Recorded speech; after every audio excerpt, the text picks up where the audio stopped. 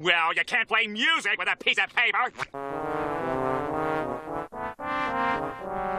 Hooray! Hooray! That was great, Squidward. All those wrong notes you play made it sound more original. What? I didn't play any wrong notes.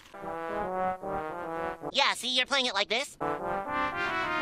When ordinarily it goes like this. I'm partially doing it in the key of A minor myself.